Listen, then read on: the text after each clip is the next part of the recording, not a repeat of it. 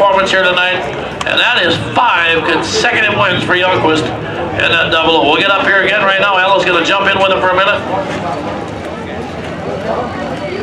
It's pretty good if he has to interview every time. Anything you wanted to say about that? Oh, it was a fun race. Didn't know if I'd make it in the front or not. A lot of tough cars out there. Getting better every week. Any sponsors you'd like to thank? Oh, I gotta thank Jesse's Toy Box, Bigfoot Egg Products, Wild Hair Outdoors, Andy Book Trucking, Tom Berg, RaceChaser.net. Everybody else that helps out here and there, and all the fans are coming out. Congratulations. Thank you.